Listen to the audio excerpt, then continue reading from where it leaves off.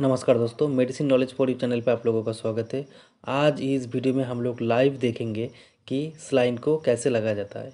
पिछले वीडियो में मैंने आप लोगों को दिखाया कि स्लाइन लगाने के लिए कौन सा कौन सा इंस्ट्रूमेंट यानी कि सामग्री का ज़रूरत पड़ता है। अगर आप लोग ये वीडियो नहीं देखे हो तो उसका लिंक मैं डिस्क्रिप्शन और आई बटन पर दे दूँगा तो आप लोग वहाँ पर जाके देख सकते हो कि कौन सा कौन सा इंस्ट्रूमेंट क्या क्या सेटअप का ज़रूरत पड़ता है स्लाइन को लगाने के लिए। इस वीडियो में मैं सिर्फ़ स्लाइन को लगाने का तरीका को दिखाऊँगा। तो बिना स्किप किए वीडियो को पूरा आखिर तक देखना। तो जैसे कि आप लोग देख रहे हो, यहाँ पे एक N S five hundred M का बॉटल लिया गया है। तो उसके ऊपर अभी आई बी सेट का जो पोर्शन है, उसको लगाया जा रहा है एक साइड से।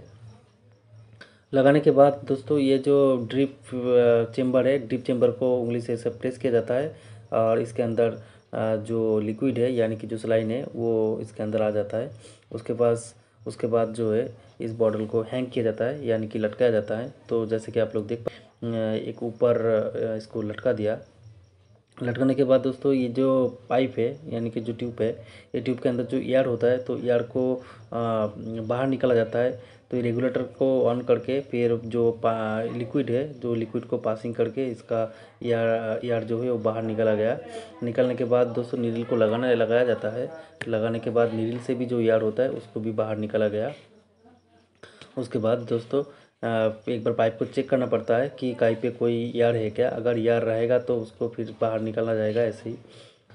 उसके बाद दोस्तों एक टेप लिया जाता है। टेप को छोटा छोटा हिस्से में काट लिया जाता है ताकि जो इंजेक्शन है, सलाइन जो इंजेक्शन है, उसको लगाने के बाद टेप को टेप से उसको होल्ड किया जाए इसके कारण से। जैसे कि आप लोग इस वीडियो में देख पा रहे हो, मैं एक छोटा सा टेप लिया गया। उसके बाद, जहाँ पे सिलाई लगाना है, जिस पोजीशन पे सिलाई लगाना है, उसके ऊपर टाइटली बांधा जाता है, ताकि जो ब्लड फ्लो है, वो ब्लड फ्लो बंद हो जाए और जो वेन है, यानी कि नस है, वो आसानी से दिख जाए। तो इसके ऊपर फिर से स्पीड लेके अच्छे से कॉटन से साफ़ किया जा रहा है जगह को, ताकि अच्छे से वेन को जो आइडेंटिफाई कर पाए। उसके बाद, जो है, हाथ को अच्छे से कस के नीचे नीचे का हिस्सा जो है, पकड़ के फिर कहाँ है वो धीरे धीरे उंगली के माध्यम से महसूस किया जा रहा है या फिर उसको आइडेंटिफाई किया जा रहा है कि कौन सा जगह है आप लोग जैसे भी, जैसे ही वीडियो में देख रहे हो, यही है प्रोसीड्योर जो है आईवी सेट को लगाने का। जैसे कि आप लोग देख पा रहे हो, जो जगह वेन यानी कि नस मिला, वो जगह को नीडल से just twenty five degree angle पे उसको पुश करके अंदर धकेला जा रहा है। उसके बाद जो इंजेक्शन लगाने का पोर्शन है, उसको दबाया जा रहा है ताकि वहाँ पे ब्लड आए। जैसे कि आप लोग देख पा रहे हो, यहाँ पे दबाने पे भी ब्लड नहीं आ रहा है तो यही सबसे ज़्यादा बड़ा दिक्कत होता है, यानी कि बड़ा प्रॉब्लम होता है कि कभी कभी क्या होता है कि इंजेक्शन बराबर वेन लग गया कि लेकिन लगने के बाद भी जो आई सेट है आई सेट के अंदर ब्लड कलेक्ट नहीं हो रहा है। तो ब्लड कलेक्ट नहीं हो रहा है। इसका मतलब है जो नीडल जो हम लोग आई वेन के अंदर डाला, वो प्रॉपर लगा नहीं है। तो इसको ठीक करने के लिए क्या किया जाता है?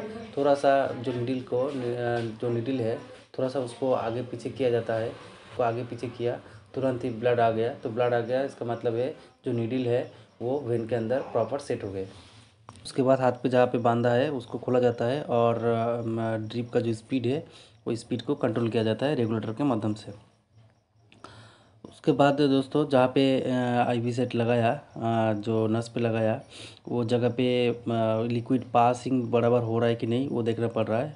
आप लोग देख पा रहे हो कि यहाँ पे कोई भी सूजन नहीं आया। इसका मतलब जो है वेन के अंदर बराबर दवाई जा रहा है, यानी कि लिक्विड जा रहा है।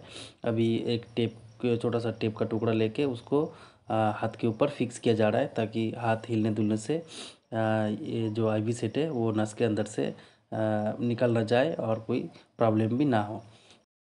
दोस्तों, एक चीज़ यहाँ पे बताना बहुत ज़रूरी है कि अगर आप लोग देख रहे हो कि ये जो जहाँ पे नीडल लगा है नस के अंदर, अगर वहाँ पे थोड़ा सा भी सूजन दिख रहा है या फिर सूजन वो धीरे धीरे बढ़ है, बड़ा हो रहा है और जो लिक्विड फ्लो है, वो लिक्विड फ्लो भी धीरे धीरे कम हो गया है, यानी कि लिक्विड का जो ड्रॉप है वो ड्रिप नहीं हो रहा है तो उसका मतलब समझ लेना कि जो जो स्लाइन है, जो वाटर है, वो शरीर के अंदर पासिंग नहीं हो रहा है।